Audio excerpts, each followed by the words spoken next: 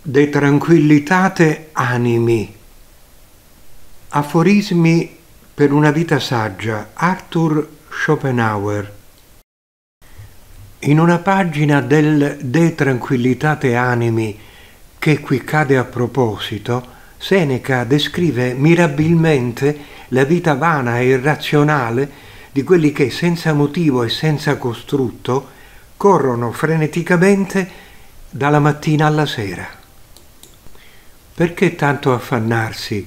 Non lo sanno neppure loro stessi.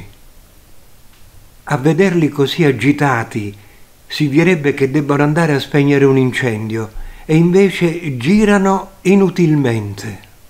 Costoro fanno pietà, dice il grande filosofo latino, e ricordano le formiche che vanno su e giù per gli alberi, arrivano fino alla cima e poi ridiscendono, sempre senza scopo. Veramente il cammino incessante delle formiche sembra vano solo a chi non conosce la loro vita. Esse hanno sempre uno scopo ben preciso in quanto sono mosse unicamente da bisogni naturali e necessari. Vano è solo l'agitarsi frenetico degli uomini, perché agiscono quasi sempre per bisogni né naturali né necessari. Commento.